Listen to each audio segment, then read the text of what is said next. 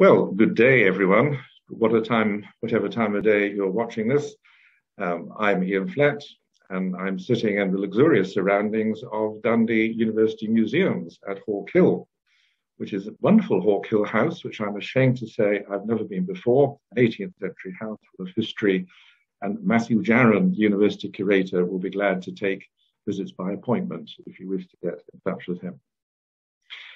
So today we're considering um, from Garden to Eden, the story of Dundee's gasworks. As it seems, we hope likely that the Eden post-industrial project, um, as in Cornwall, will produce um, a walled area full of, of lush vegetation and centres of education. Um, it's good to remember that it started off as a garden. It started off as the garden of an 18th century or um, late 17th century house called Peep O'Day, which had extensive gardens. So you've gone from garden to garden. So we'll get our bearings first of all. This is at the top of Peep O'Day Lane, which still exists, and the Peep O'Day references back to the house and its extensive areas. Um, this is now what you call post-industrial, in the background, you have um, new gas. You've got the drillers um, that are efficiently restored on the shores of the Tay, following on from the Caledon shipyard. And to the left, you have the spiral gasometer, the one that's left. Um, and that will remain a feature, apparently, of the New Eden. And Peep O'Day House uh, was an extensive gardens, extensive land, and this probably is still its boundary wall. And I gather that's one of the features that attracted Eden Project to be involved in this. And if you look closely at the wall, um, it is it suggests to me it could be contemporaneous with the um, original 18th or late 17th century Peep O'Day house. Um, just beyond this would have been the, the, the area of his extensive lands. There was um, a German engineer here, engineer called Johannes Slezer, who went all around Scotland in the late 17th century with a camera obscura. Now, if you've puffed your way through all the stairs in the camera obscura in Edinburgh at the top of the Royal Mile, if you haven't, when peacetime returns, I urge you to do so. Basically, it is a camera. It's a large, uh, it's a small peephole that reflects the light down into usually used to be a, a beige, if you like, dark room. And still in Edinburgh, you can see Edinburgh in reverse on a table, whereas what Slezer wanted was uh, it to go onto an engraving plate. So basically, you have a 17th century photograph. Uh, I partic- in all of his prints, Slezer would then add what people did locally and you've got two ladies um, trampling down the cloth in the, uh, the, the, twin tub on the bottom right hand corner. Um, as, as, an aside, um, I showed this to primary seven pupils in Newport when I was talking about the history of the Tay, and I said, What do you think these ladies are doing? And they said, Please, sir, they're making wine, so there's Newport on Tay for you. But our purpose in looking at this is to see the extent of Dundee, late 17th century. Um, the sea gate is what it says on the tin. It's the road at the side of the Tay. So all of that had to be still infilled. Now, if you go to Seagate bus station, you're somewhere on that shoreline. And of course, the, the borough extended as far as that. Um, Peepodday House, if it's just being built, is over the bluff to our left um, when you look at the Eden site, hopefully um, you still got that bluff, the remains of a quarry steep. So um, at this time, this would be fairly rural, apart from the ladies trampling the cloth and no hint of industry coming anywhere near it. Um, I'll be making lots of references about the online maps available in the National Library of Scotland.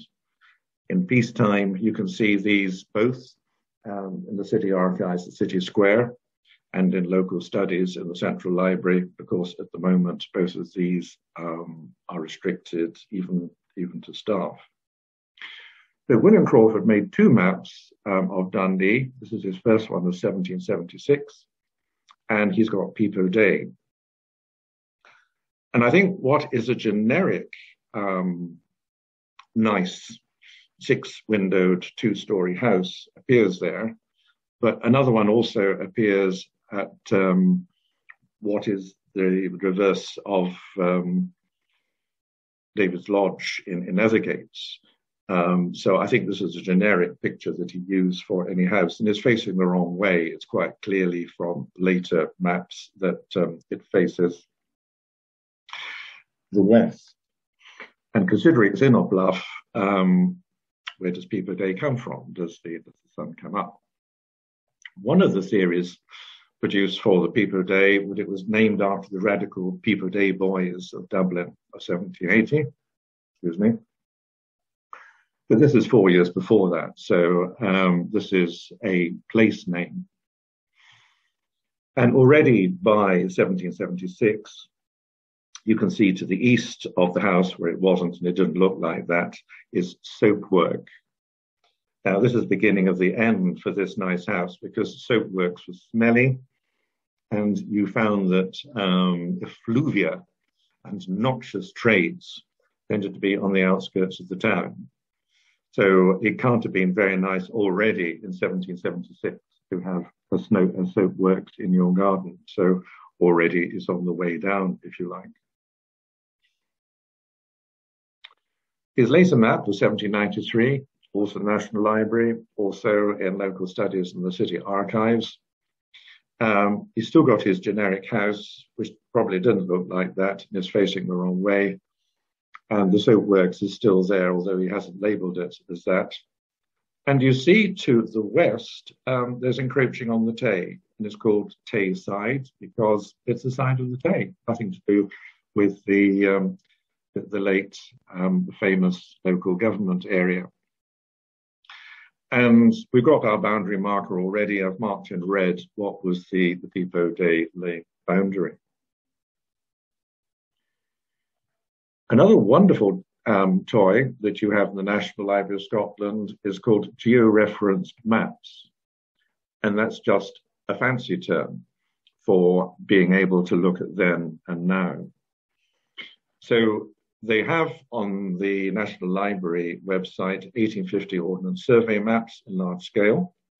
And on that, you can clearly see still um, the O'Day house, which is by then being used as a gas manager's house. And in brown, which is the wrong color, I've outlined it. Um, and I suspect the ground, that's quite a steep cliff there. I suspect the ground was, was quarried out um, so there won't be any archaeological remains, but that gives you a bearings of where the original uh, mansion house used to be. John Wood um, is um, another famous map maker.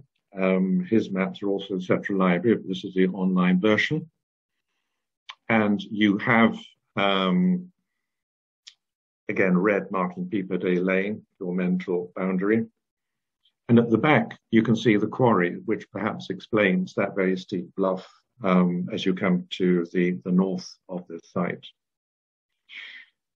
And again, um, a puzzling reference to uh, a house facing the wrong way. They certainly never built two Peep O'Day houses, expensive houses, particularly once the soap work had happened. So um, John Wood is, is a bit questionable there.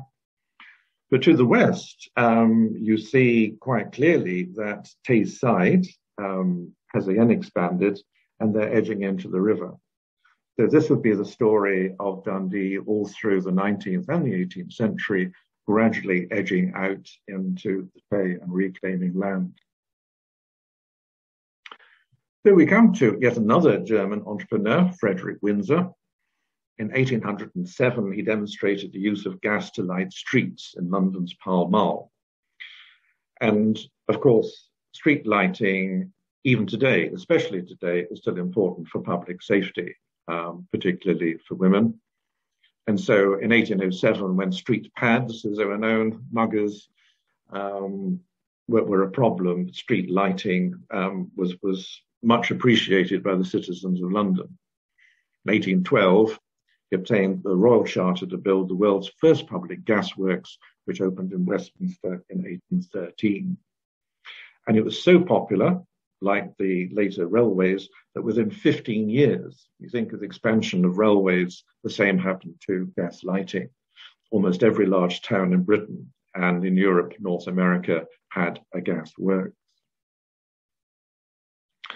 I'm grateful to the National Museum for um, explaining this. Uh, this is a very simplified account, but basically you have a retort where um, very gaseous bituminous coal is heated in a closed cylinder and uh, you get the vapor off that, goes into condenser, which gives you valuable tar at the bottom of the tar well, and the gas goes through to a purifier, and some of it goes to users, and some of it can be held in a gas holder political at the moment as we worry about um, retaining gas and holding gas. So the first Dundee Gaslight Company started to lay pipes um, in 1825 before the supply was formally switched on in January 1826. And in 1912, um, the British Association of Advancement of Science came to visit Dundee it was a huge success, and they discussed all sorts of things. And um, in the city archives, they, there are pamphlets, very lovely illustrated pamphlets that were held, given out to members who were interested in electricity, gas, water. But in this one, the general manager said meters were first introduced because in the history of companies, a charge is made per burner, this is a light burner, in use for a definite period. So, like um, air raid wardens in World War II, this was regulated by inspectors who perambulated the town to see that all lights were turned off at the time arranged. And this was a great annoyance if you were in the middle of a Dickens novel you wanted to finish, and was annoyance to those of a studious nature. Price capping um, existed even in 1823. Um, Section 10 of the Act was then known as Hume's Clause provided that the gas to be furnished by the said company shall be as of good quality as that furnished by any gaslight company in Scotland, and the company shall be bound to furnish such gas at a rate or charge as low as shall be the average price demanded for gas by the gas companies in the several towns of Edinburgh, Glasgow, Paisley, Perth, Arbroath, Montrose, and Aberdeen. So Dundee is behind all of these in setting up, but it's very good that price capping. This is a commercial company that's being set up, and price capping is in the data. Um, another map online, National Library of Scotland, also available in City Archives and Local Studies Central Library, um, was this very rudimentary Dundee Gasworks. Um, to explain what's happening, James Leslie is explaining the harbour extensions of 1840, so Victoria Dock, which you see at the bottom, has yet to be built.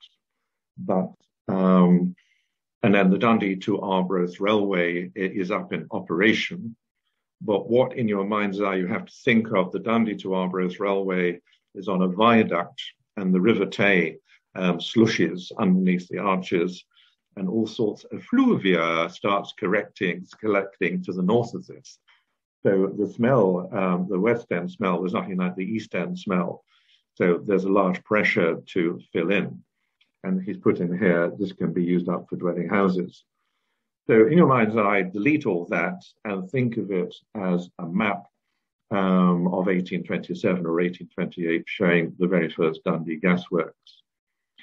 And gas um, technology would advance so quickly that um, you see the sites changing all the time.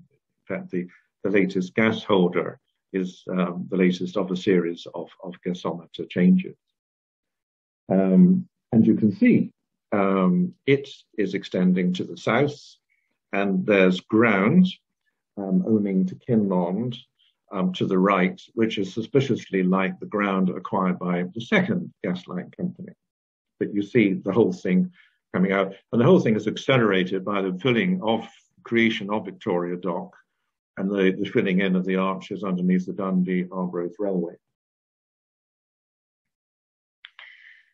Um, on Scotland's people, a wonderful site, they got all sorts of things apart from births, marriages, and deaths. They got valuation rolls. And they have the Ordnance Survey name books. So as the Ordnance Survey went through Scotland, England, and Wales, it took notes from local citizens. And here it is. Uh, when they were building, when were drawing the first Ordnance Survey, 1857, have Peep O'Day House, and it's to the south of the Broughty Ferry Road. So the Broughty Ferry Road hasn't changed; it's still there, um, and it tells you that the the first Dundee Gasworks and the Wallace Mill there. If you then look at the 1857 Ordnance Survey, and this is the one that I could draw the, the brown square around to give you um, your bearings.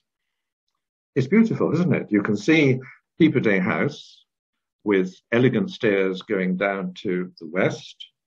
You've got ornamental vases. You've got wells.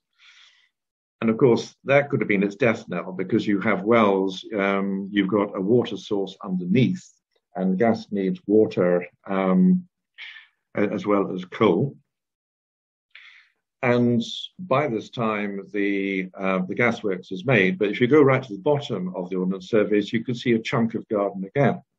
So as the gasworks eats into the garden, um, ordnance surveyors don't bother redrawing the house. So it looks as though the house is in perfect condition all the way until the 1880s, when in fact it must have been pretty sorry condition by then. But there we have it. A very nice formal garden, very nicely laid out. And we can see that um, if we go to the south of Peep O'Day House, um, there's a very nice formal walk there as well. The, so bearing in mind the, the map of 1840, which showed you the situation in 1826, this is only 30 years later, and the whole site has been revamped, totally new machinery put in. And gasometers, big debate about that. There's no meter in a gasometer. It's for holding gas, but that's what they were popularly known by. Um, engineers like to call them gas holders, but hey, they're here as gasometers.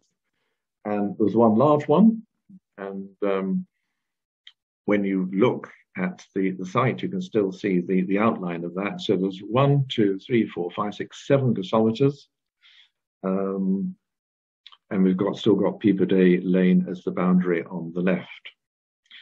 And had I included the, the south of this, um, the formal gardens of Peep O'Day Lane still peep out at the bottom. I, I, doubt that they were kept as formal gardens, but um, the Ordnance Surveyors kept that. And the other point was, of course, uh, the gasworks was built before the railways. So how do you supply large amounts of gaseous bituminous coal? By sea. Dundee was importing coal from Fife from the 16th century. It's in the Borough Harbour book. Um, but now you have the Dundee to Arbroath Railway, which connects with, with larger harbours. And so you have to have um, methods of storing that large amount of coal. So you have a coal house. So going back to Mr. Winsor, uh, you put the coal in a closed tube and the retort was heated in the furnace. These retorts had to be filled with coal, called charge, and emptied by hand, which was hot breaking work. Mechanical charging and vertical or inclined retorts were introduced in the larger gas works in Britain late 19th century. And in Dundee, there's a huge change in 1901, so we can safely assume that um, mechanical charging would have been incorporated in that. The gas is given off, hydrogen and carbon monoxide, came through a water trap, which is why you need a lot of water, and cooled in a condenser where tar and some other liquids were removed. Tar, of course, was very valuable. And the gas was then passed through a purifier to remove sulfur compounds and other impurities before used and stored in a gas holder and steam-driven exhausters were introduced to pump the gas through the gasworks into the main system by late 19th century in Britain, and probably in 1901 in the huge expansion. And that tells that the gasometer held 400,000 cubic feet, which is no mean feat um, in 1856. You then have the curious thing of the new Dundee Gaslight Company formed in 1846. And this brought costs down. But of course, long before Data Protection Act, the old Dundee Gaslight Company and the new Dundee Gaslight Company would not share the lists of their customers. So then, as always, there are some clever people who realized, ha, um, and so uh, you actually had free light. If you knew what you were doing, you ended up with a free gas supply because you told the new gas light company you was the old company and you told the new vice versa. So by 1850, the street directory would list the Dundee New Gas Light Company was an operation run by entrepreneurial writers, uh, the old word for solicitors in Scotland, Shiel and Small, and they have their hands in every pie. Um, some people watching this will remember Shiel and, Shiel and Small's chambers in uh, Bank Street. And uh, if they include Stephen Connolly, the, the, my former colleague, uh, the archivist of Perth and Kinross, um, his first days were spent surveying the basement of Shiel and Small, which was knee deep and lovely things relating to gas and to railway companies and everything else that can make money. This is from the 1850 Street Directory, online NLS, also available in City Archives and Local Studies. And you have the movers and shakers here. The old original Gaslight Company had their office in 18 Castle Street, works at peep of day. And all the big guys are there Gardner of Duddock, Blair of Crookston, Guthrie, Maxwell, and John Thomas of Peppington, with the ordinary directors being Guthrie of Tay Bank, Crichton, uh, James Russell, manager, and Christopher Kerr and Co. The writers were also the part-time town clerks, and then the Kerrs were also available with the town council as well. Whereas Dundee New Gaslight Company, the office were in the, um, the lawyer's office of Reform Street, and Crawles Rocks and Ferry Road is just to the east of the Peep o' Day house, so it's right next door. Um, with the secretary, Shiel and Small, manager, John Kate, much smaller organization. So what are they doing? Um, I think they're just getting in the action because we'll say that their works were much smaller. You would think that the new gasworks would be more efficient, more extensive than the old gasworks. But hey, the old gasworks have got seven gasometers. The new guys have only got two.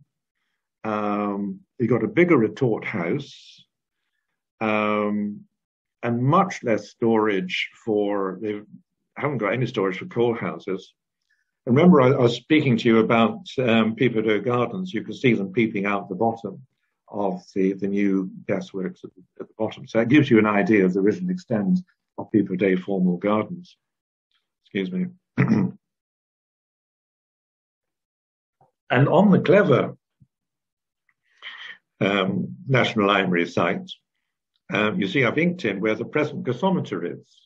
That also tells you that uh, the site kept on extending, um, and it did extend more and more.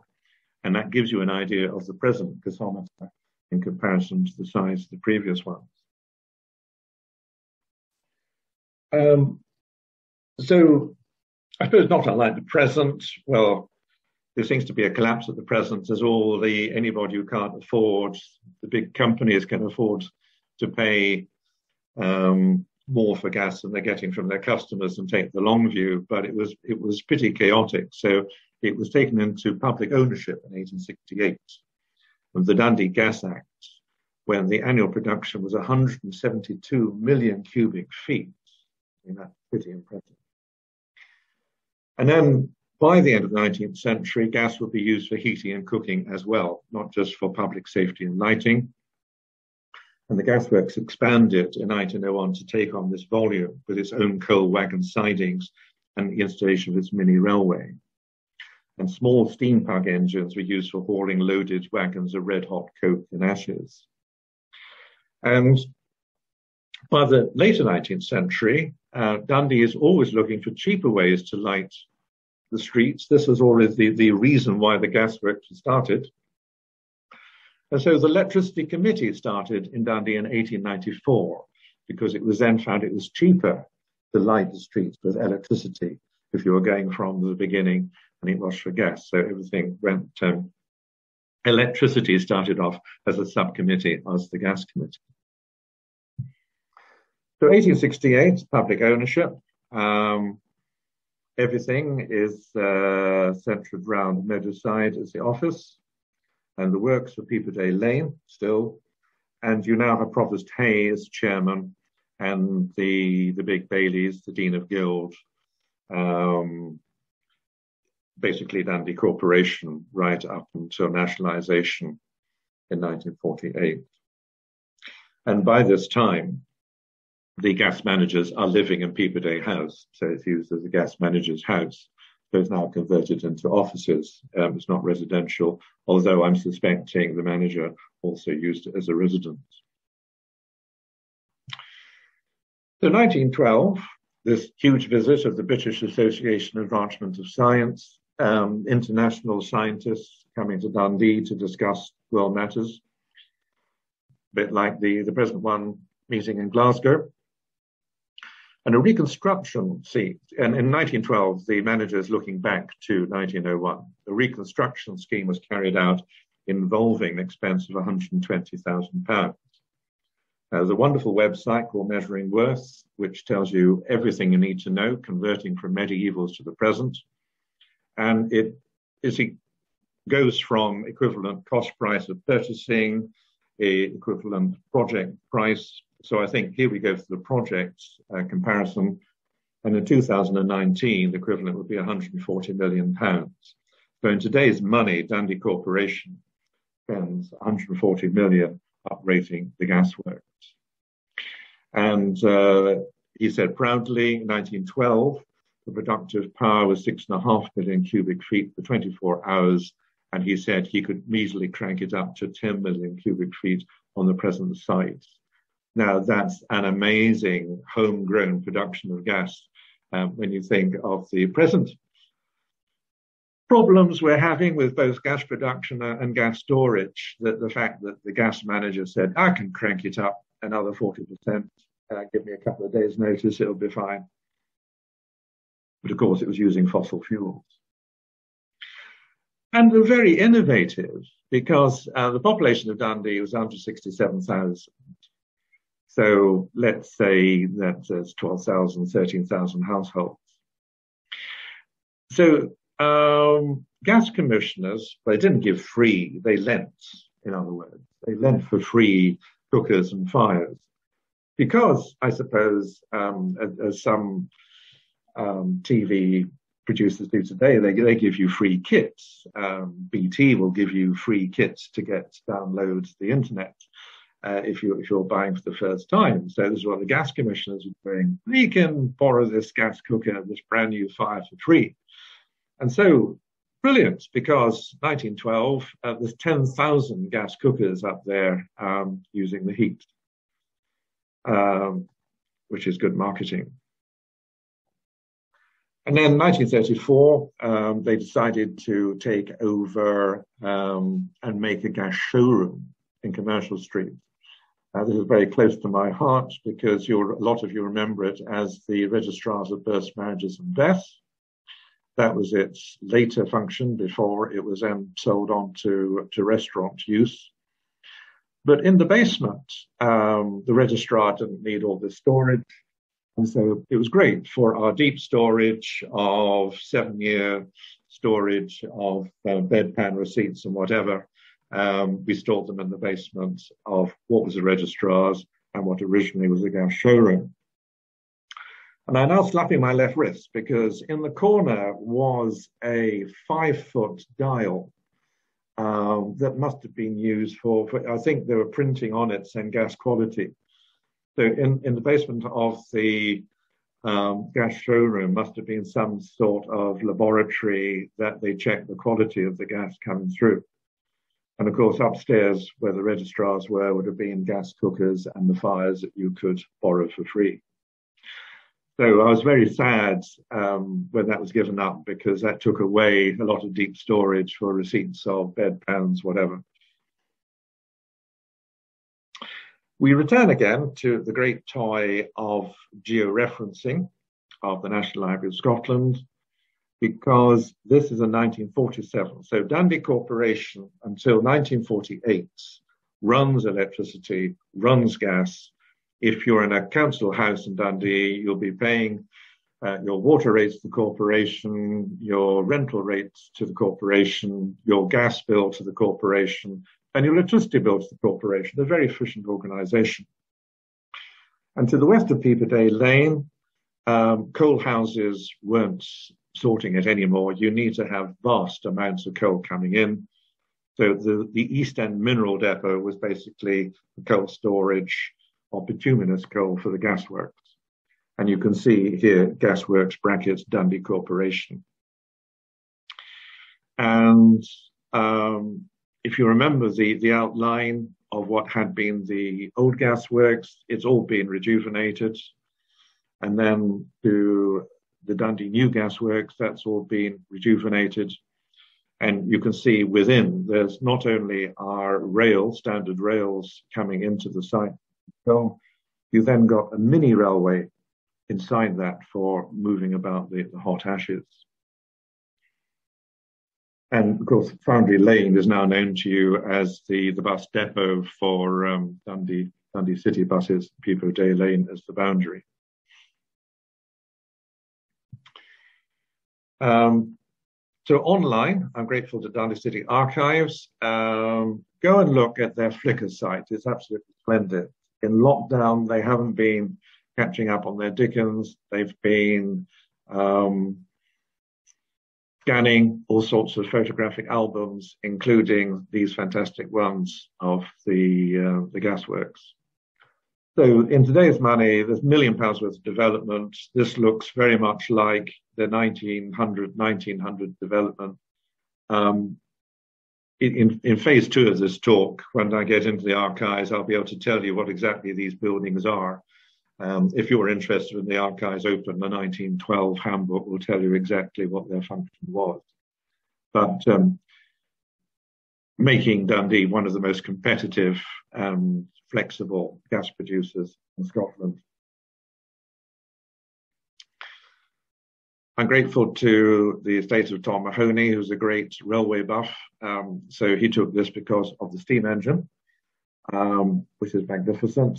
But beyond that, um, you can see the telescopic gasometers. So the gasometer that is left to us um, is a spiral gasometer that works like a corkscrew um, the first generation of gasometers just went up and down, whereas the um, who knows with the shortage of gas supply at the moment, we may yet see uh, the remaining gasometer spiraling upwards again. And it's all there, isn't it? There's, this engine is working on fossil fuels, um, a beautiful site, and something close to my heart, but producing lots of air pollution. The gasworks created lots of air pollution and worked off fossil fuels. Um, you can see why Dundee Corporation was one of the first bodies to bring in the Clean Air Act and um, discourage people from having coal fires um, of, any sort. So you can imagine what, um, if you were suffering from any lung disease, what it must have been like to live in Dundee in the 1950s. And here again, grateful to the late Tom Mahoney, who's taken a lower view.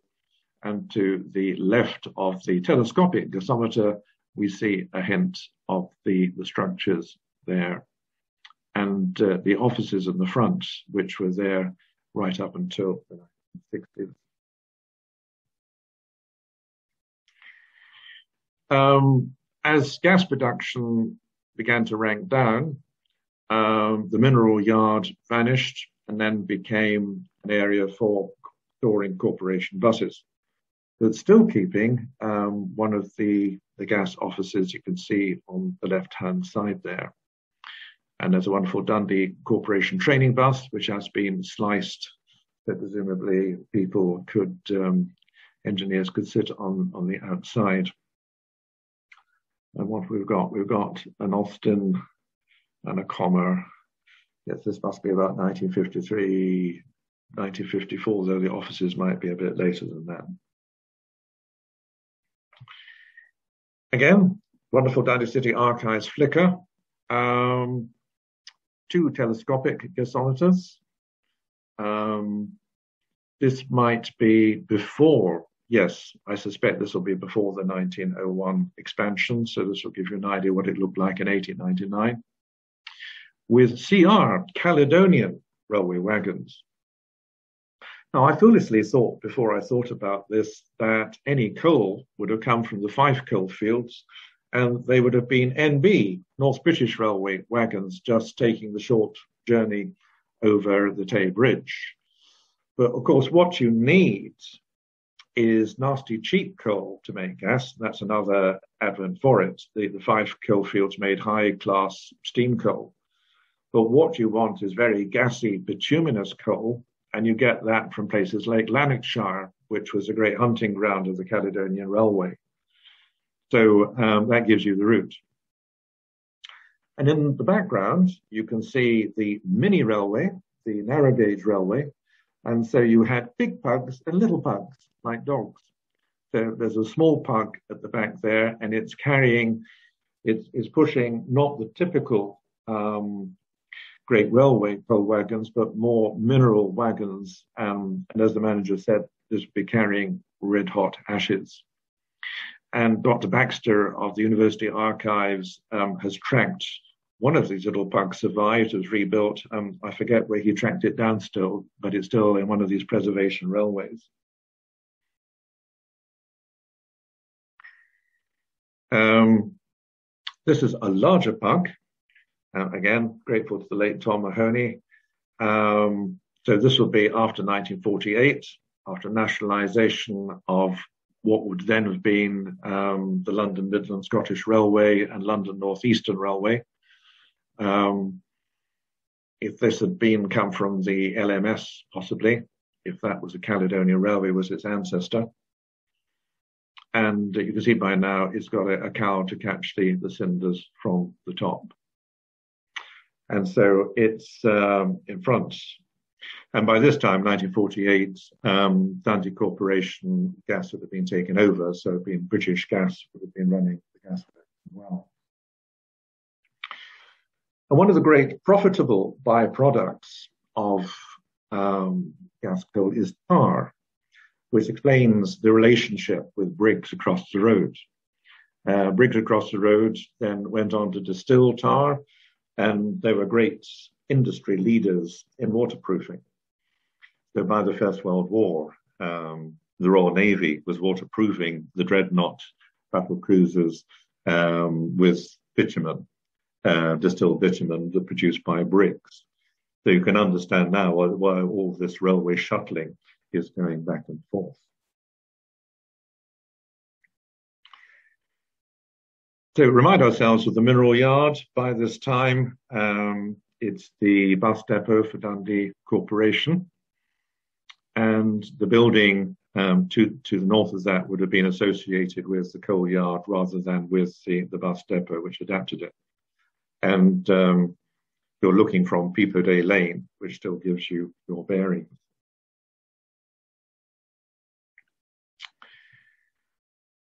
So this now fades to now, um, and you can see where this is another georeference plan, National Library of Scotland. And you can see the green peeping through. So since the the whole area was cleared. You can see gas coming, uh, you can see green grass coming through already. You can see where the mineral yard was, um, is now car parking, vehicle parking. To the right, the whole of Dundee Corporation's gas works. Um, you can just see that whole cleared site, um, but you can see the spiral gasometer still surviving is on the right. And you can see that all the railway feeder yards are long gone. But at one point, you'd have had to come to a braking stop for little pug engines taking coal. And possibly some Dundonians would also remember pug engines going to the harbour. And coming out at the entrance to the Tay ferries, there's wonderful pictures of pedestrians on bikes waiting for bugs going past um, what was Mather's Hotel. 1948, nationalisation, had 12 gas boards, which were known as the gas boards. Uh, gas Act of 1972 merged all the area boards and it became the British Gas Company. Its leadership was supervised by the Secretary of State for Trade until 1974. And this is up to probably the, the 1960s uh, when you have both.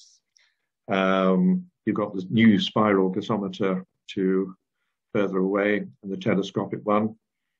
And the fact that, that both are halfway up would suggest you that they're very busy and the original uh, Dundee Gas offices are still there.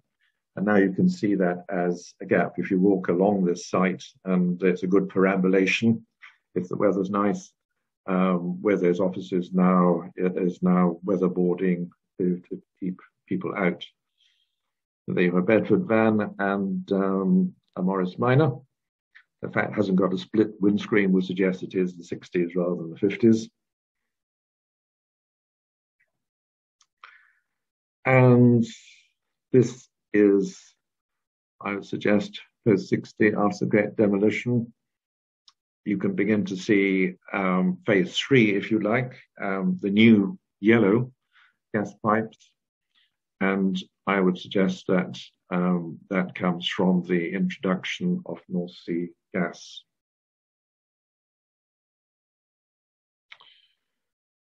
So, overnight, um, if you like, with introduction of natural gas, um, all this technology is made redundant. The Viking field, 1965, um, natural gas is piped in. Um, I remember my aunt's cookers being um, converted as uh, well. M- many people watching this will remember the conversion of anything they had that burned coal gas to take natural gas. It must be very efficient and very quick because, of course, you couldn't burn both coal and, and natural gas. It used totally different burners, but um, that happened very quickly. And so overnight, the smell of sulfur and coke and tar, um, the, the nauseous trades, if you like, uh, vanished So once you don't have a use for buildings, um, you just demolish them. So 64 years after they're built, um, all this wonderful new Victorian and Edwardian machinery is just taken apart. Um, and very, again, enjoy Dundee City Archives Flickr is all online. Um, and in fact, one of these um, photographs mirrors the the brand new building as as it was created. In fact, it's that one. So if you remember the black and white photograph, uh, that's what it looked like new, and that's what it looked like being taken apart.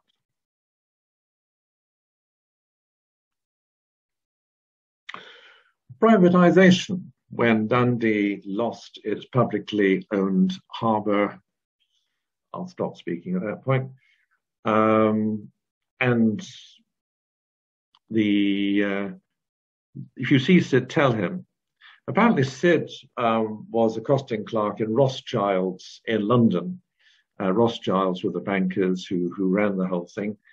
Um, so Sid was was a person. That Was, apparently, marketers still say this was a groundbreaking effort because anybody, and uh, I'm ashamed to say, that uh, I bought a few 135 pence shares, but um, unless you owned one million, you were bought out. So I don't think there's any any private citizen still has um, a British gas share, though.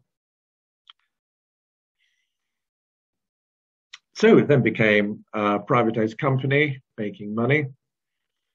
Having said that, um, you have to admire the late Henry King, who can, persuaded them to make um, the spiral gasometer into a huge birthday cake to celebrate 800 years of Borough in 1991. And it's still there. That's what it looked like in happier days. So you then got an original brownfield site full of sulfur, full of tar, and I & H Brown of Perth, where groundbreaking, groundbreaking technology, for they used low temperature thermal desorption. No ideas what that is, but it was cutting edge technology which got rid of the contaminants, the worst contaminants in the site, which then means that you can start using it for other purposes. Surviving spiral gas holder is unused. Very topical. As I speak, um, people are trying to work out how to store gas because, of course, gas you can store. You can't store electricity unless you've got a hydroelectric works and you can use unused electricity at night to pump up the water to create electricity. Gas is a physical thing, and if you've got a void to store it, you can store it. So 24th September, The Guardian, um, relying on luck. Why does the UK have such limited gas storage? And that's because um, there was a firm, Centrica and Rough, which used um, empty gas voids or in the North Sea to store gas, and also some gasometers, Victorian Edwardian gasometers, or things like the, the 1960s spiral gasometer to store gas so I'm being the devil's advocate here. I'm absolutely fantastically delighted that Eden is going to, hopefully, is going to develop this as a post-industrial site. But the appalling fact is, we've we've got a spiral gasometer that could probably supply Dundee for three or four days um, standing idle. So this is um, the publicity shot produced by Eden, their view of the future um, the gasometer surrounded by vegetation. Existing design, uh, the design um, is, is talking about the existing tall brick walls suggested to Eden. And of course, they're not all brick walls, as you saw the original stone walls um, on the top of Peep O'Day Lane, the striking contrast to industrial heritage of the gasworks. It's a nod to Dundee's nine incorporated trades, a collective individual trades, um, but they call them guilds, which um, I'll need to mention that guilds in that sense is an English term. Um, the trades are the trades in Scotland. And I also might mention that Dundee's got three united trades, the mason wrights and slaters. The masons who came over from Europe in the 15th century to build the wonderful old steeple, they have the Guildry Incorporation, who were trading with London from 1199 and had their charter.